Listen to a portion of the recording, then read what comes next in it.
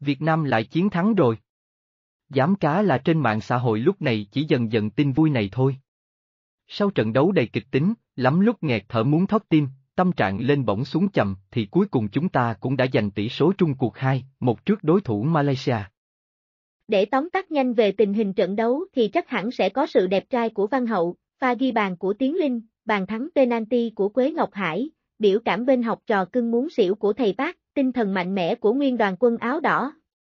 Về phía Malaysia thì ngắn gọn hơn nhiều, 11 người, 6 thẻ vàng và bị loại. Dù thế nào thì Việt Nam cũng đang đầu bảng còn Malaysia chính thức bị loại. Mấy hashtag này mang ý nghĩa gì? Ý trên mặt chữ thôi, trận đấu hôm nay được đánh giá là một trận đấu khá ngang tài ngang sức giữa đội ta và đội bạn.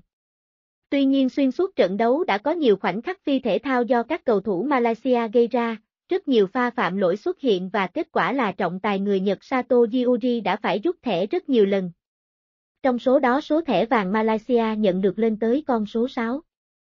Các cầu thủ Malaysia đã nhiều lần phạm lỗi và nhận về tới 6 thẻ vàng. Tuy nhiên, những nỗ lực ngăn cản đội tuyển Việt Nam của đối thủ đã không thành công.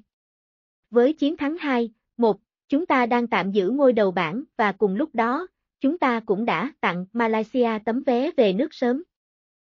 Mà thôi không nói nhiều nữa, Việt Nam vô địch. Ảnh, Sport 5 tổng hợp